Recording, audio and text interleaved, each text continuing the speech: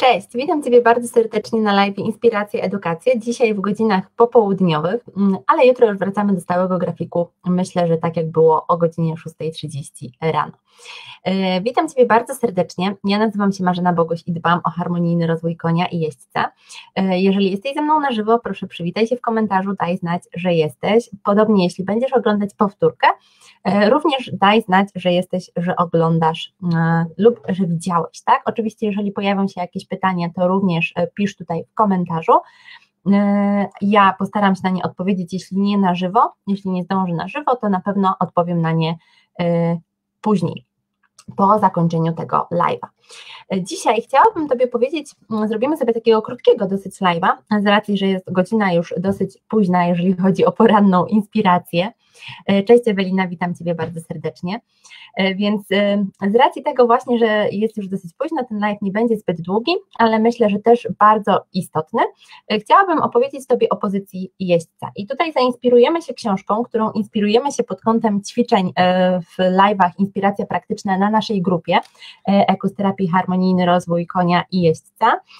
Jest to 101 ćwiczeń ujeżdżeniowych dla konia i jeźdźca, które zebrała y, Jaki czy Jackie Bell z Andrew Dayem. Tak wygląda ta książka. Jest to bardzo fajna książka, dlatego że zawiera porady słynnych jeźdźców różnego rodzaju. Witam Almarga, cieszę się, że jesteś. E, więc powiemy sobie dzisiaj właśnie o pozycji, e, o pozycji jeźdźca. E, dlatego, że mm, no myślę, że zarówno jak, jeśli jest się jeźdźcem początkującym, jak i tym jeźdźcem bardziej zaawansowanym, to warto mieć świadomość, czy siedzi się w siodle dobrze. Nawet jeżeli jeździ się już kupę lat, to warto od czasu do czasu przypomnieć sobie, skontrolować swój dosiad, zastanowić się nad własną sylwetką w siodle. E, podobnie jak bardzo fajnym rozwiązaniem są co jakiś czas takie ląże e, dosiadowe. E, bardzo fajnie jest co jakiś czas na taką lążę dosiadową sobie wsiąść, no, żeby właśnie skorygować błędy, które gdzieś tam w czasie pracy się nawarstwiają. Trzeba też pamiętać, że bardzo ważne jest rozluźnienie miejsca, a więc jeżeli ktoś ma stresującą pracę na przykład lub siedzącą pracę, to warto się rozruszać e, i właśnie ten dosiad kontrolować, żeby siedzieć w siodle lepiej, żeby było wygodniej zarówno tobie, jak i koniowi i żeby też skuteczniej przekazywać sygnały, tak, żeby komunikacja była e, skuteczniejsza. E, oczywiście w czasie pracy na, e, pracy na placu mm, przeważnie stosuje się dosiad ujeżdżeniowy, lub jeśli skacze się, to jest to dosiad bardziej odciążający, czy, czy półsiad, jeżeli chodzi o skoki również jest stosowany. Y, ale trzeba pamiętać tutaj, że ważne jest, jakkolwiek by się nie jeździło, jakkolwiek by się y, jakby jakiej dyscypliny by się nie trenowało, że trzeba siedzieć w równowadze i w rozluźnieniu i jeżeli siedzimy w siodle, tak, jeżeli to jest dosiad taki pełny, y, to trzeba pamiętać o linii ucho, bark, biodro, pięta, tak, czy kostka. E, które powinny zawsze pozostawać w linii prostej i prostopadłej do podłoża. Jest to bardzo ważne. Dlaczego? Dlatego, że często mamy tendencję na przykład obciągania pięty za bardzo w dół, co powoduje wyjechanie nóg do przodu, e, albo jeździmy w zbyt długich strzemionach, co powoduje, że robimy taki dosiad widłowy, tak? Za bardzo opieramy ciężar na udach, za chwilę powiem o tym dokładniej e, i mm, siłą rzeczy przeprostowujemy plecy, żeby utrzymać równowagę. Często też się zdarza, że na przykład siodło nie jest całkiem dobrze dopasowane do nas jako do jeźdźców e, i jakby samo w sobie usadza nas w nie takiej pozycji, jaka być powinna. Więc to wszystko trzeba przeanalizować, to wszystko trzeba, na wszystko trzeba zwrócić uwagę i pomyśleć, co zrobić, żeby ten dosiad skorygować i czy aby na pewno siedzi się dobrze.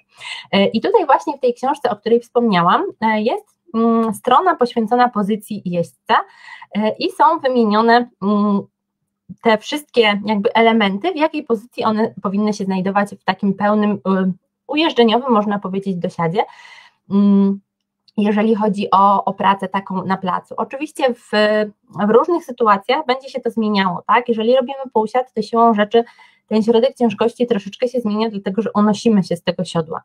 E, ale powiemy sobie tutaj o takim dosiadzie, gdzie po prostu pracujemy na placu w takich warunkach codziennych a więc głowa w pierwszej kolejności. Podbródek powinien być uniesiony, mm, tak aby jeździec mógł patrzeć pomiędzy uszami konia, a więc nie patrzymy w dół, bo wtedy nasza energia idzie w dół e, i e, jakby motywujemy konia do tego, żeby albo zatrzymał się, albo żeby wyłamał, jeżeli na przykład najeżdżamy w taki sposób na przeszkodę, zawsze patrzymy tam, gdzie chcemy jechać i zawsze głowa powinna być uniesiona, dlatego że spuszczając głowę w dół, całe nasze ciało zmienia jakby swoją pozycję, nie tylko głowa, ale całe nasze ciało. Dodatkowo napinamy tutaj kark, napinamy ramiona e, i to odbija się na naszym rozluźnieniu i na naszej płynności e, mm, jakby przekazywania sygnałów. Barki. Barki powinny pozostawać w pozycji naturalnej, ale odrobinę ściągnięte do tyłu, aby ułatwić pracę klatki piersiowej, czyli znowu nie robimy, nie garbimy się, tak, ale też nie przeprostowujemy się przesadnie. Wszystkie stawy no, w czasie pracy w siodle powinny być w takiej pozycji środkowej. E, a więc ani za bardzo do tyłu, ani za bardzo do przodu, ale jednak lekko ściągnięte, tak? Więc siedzimy wyprostowani. Kolejne łokcie. Łokcie powinny być swobodne i lekko dotykać boków, a więc nie odstają gdzieś tam, nie wiadomo gdzie, nie są też dociśnięte do ciała kurczowo, tylko swobodnie mm, blisko ciała, e, w taki sposób łokcie powinny być utrzymane. Kolejne ręce. Linia biegnąca od kółka wędzidłowego, czy od wodzy, tak? od nachrapnika przez ramię, e, przed ramię jeźdźca do jego łokcia ma być prosta, a więc wodze są przedłużeniem ręki w stronę pyska konia. Mm, no właśnie. E, I pozycja dłoni wyznaczona jest koniecznością trzymania kciuków skierowanych pod kątem do góry w taki sposób, dlatego że w momencie, kiedy obracamy dłonie tak, zamykamy wodze, napinamy je bardziej. Można w taki sposób na przykład wykonać półparadę. E, więc w pozycji tej poprawnej dłonie powinny być skierowane kciukami do góry, tak? Czyli tak trzymamy poprawnie dłonie, bo inaczej zmienia nam się troszeczkę działanie tych wodz.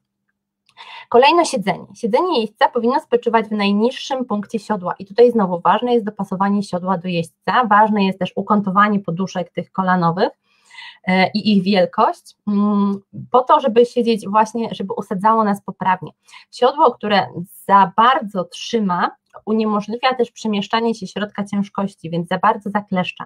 Dlatego warto jest zwrócić uwagę na to, w jakim siodle jeździmy i czy to siodło na pewno jest poprawnie do nas dopasowane, do naszej wagi, do naszego wzrostu, czy będziemy poprawnie w tym siodle siedzieć. Bo i waga, i wzrost jeźdźca ma bardzo duże znaczenie, Mm, więc trzeba na to zwrócić uwagę.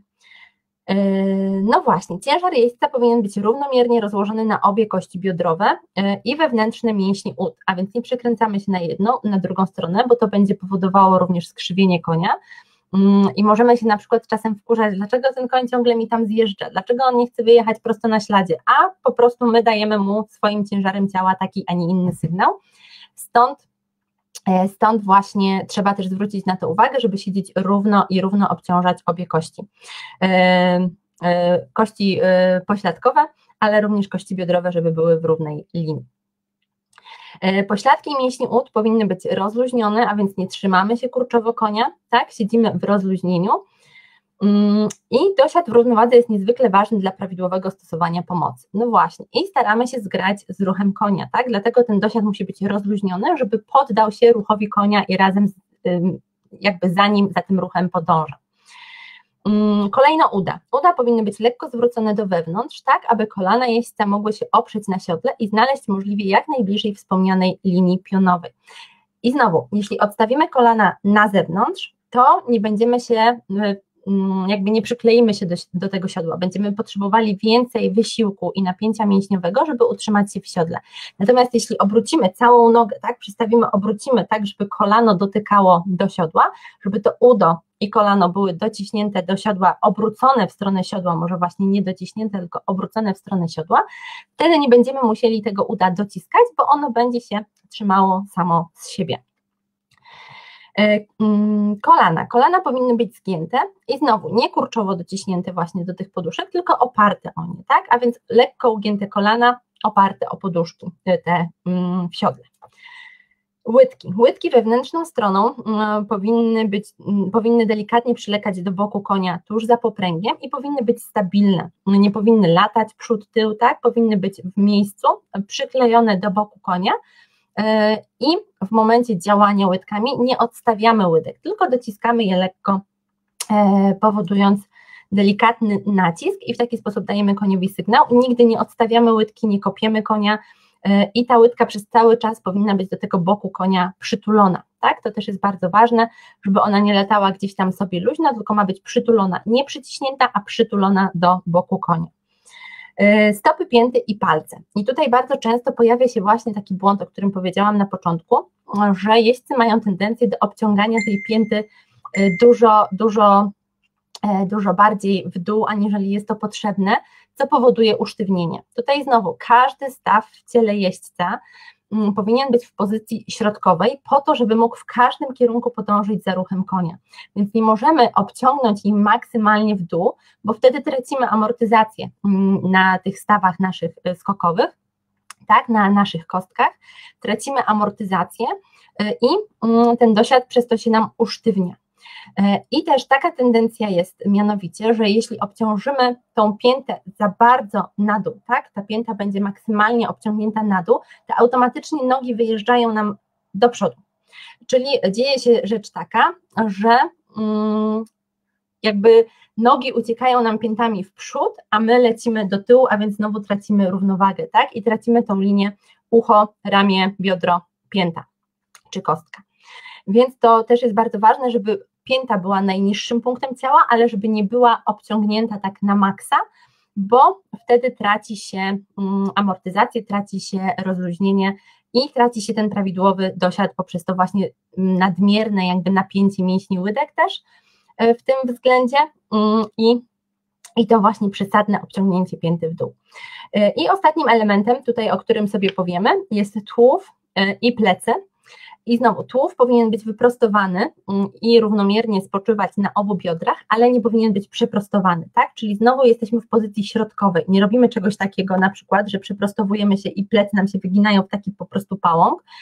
Y, nie możemy też się garbić oczywiście, tak, więc nie siedzimy zgarbieni, to musi być pozycja mm, środkowa, y, o którą, i to jest bardzo ważne, należy dbać również pomiędzy jazdami. A więc kiedy stoimy w kolejce do sklepu, kiedy siedzimy na przykład na, na krześle, cały czas musimy o tym myśleć, cały czas musimy o tym myśleć, żeby nie przeprostowywać ani w jedną, ani w drugą stronę, wtedy łatwiej nam będzie, przyjdzie to zupełnie naturalnie w siodle, tak? Będzie nam po prostu łatwiej to osiągnąć w siodle, jeżeli będziemy pilnować tego dosiadu przez cały, przez cały czas, czy tego właśnie wyprostowania pleców.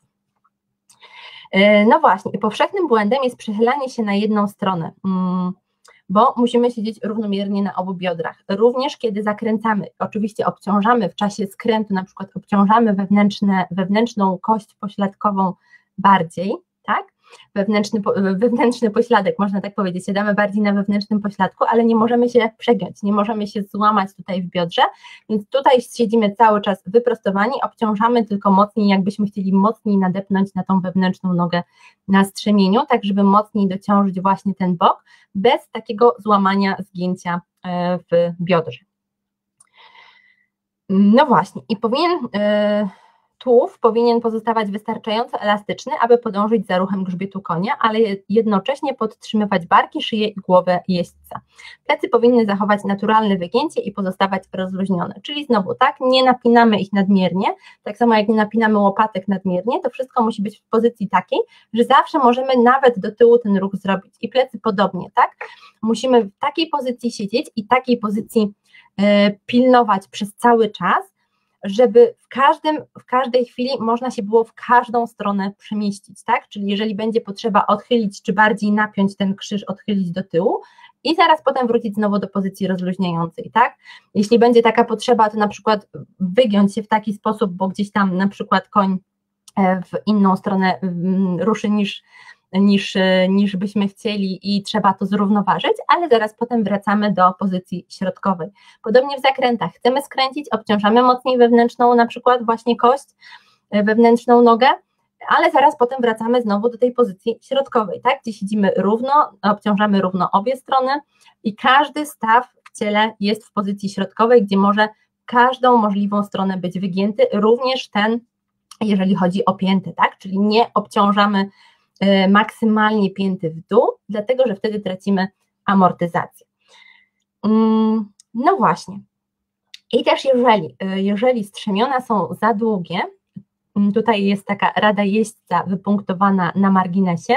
Jeżeli strzemiona w siodle są za długie, ciężar jeźdźca będzie spoczywać na jego udach i wyciągać go z siodła. Będzie trudno po prostu usiedzieć w tym siodle.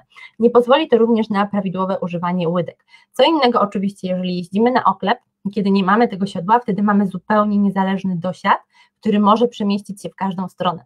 W momencie, kiedy siedzimy w siodle, gdzie są te poduszki kolanowe, które już siłą rzeczy w jakiś sposób nam y, kolana ustawiają, ustawiają nam nogi, to w momencie, kiedy mm, strzemiona będą za długie, to stracimy przez to równowagę, tak? bo nie będziemy w stanie się dopasować całkowicie do konia, przez to, że siodło y, w inny, mm, w inny sposób nas usadza, aniżeli wtedy, kiedy siedzimy na przykład na oklep bez strzemion. A więc y, długość strzemion musi być również dopasowana do siodła, do ukątowania poduszek, tak żeby nie były one za długie. Mm, no właśnie, i tym chciałam się z Tobą dzisiaj podzielić. Daj znać, czy ta wiedza y, również się przydaje, czy pod takim kątem również szukamy inspiracji, jeżeli chodzi właśnie, jeżeli chodzi właśnie o jeźdźca, e, czy Mm, chcecie szukać inspiracji tylko treningowo-końsko, ale ja uważam, że tak samo jak dbamy o konia i o jego kondycję, to mm, jeździec musi dbać również o siebie i o swoją kondycję. Musi również pilnować, żeby tak jak dbamy o poprawną postawę ciała konia w czasie pracy czy w czasie mm, odpoczynku, tak samo jeździec powinien dbać o poprawną postawę swojego ciała, zarówno w czasie pracy w siodle, jak i e, w czasie odpoczynku odjazd, czyli w czasie codziennego Mm, tak jakby życia, przez to znaczy dzięki temu, że będziesz o tym pamiętać cały czas, tak, żeby pilnować właśnie tą pozycję środkową wszystkich stawów, żeby nie przeprostowywać pleców, żeby nie garbić się, to łatwiej później i bez zastanawiania się, bez myślenia o tym przyjdzie Ci to w siodle i to zaprocentuje na pewno na komunikacji z koniem, na jakości sygnałów wysyłanych przez Ciebie i na Waszej wspólnej pracy. E, także tyle ode mnie na dzisiaj. E, życzę wszystkim miłego wieczoru. E, oczywiście widzimy się jutro rano.